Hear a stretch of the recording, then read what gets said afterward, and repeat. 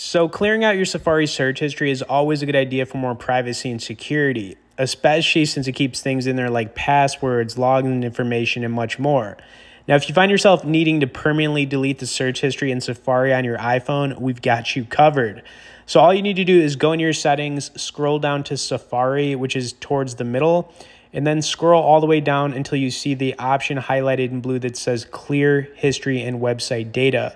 Now, when you tap this, it's going to give you a prompt that says clearing will remove history, cookies, and other browsing data.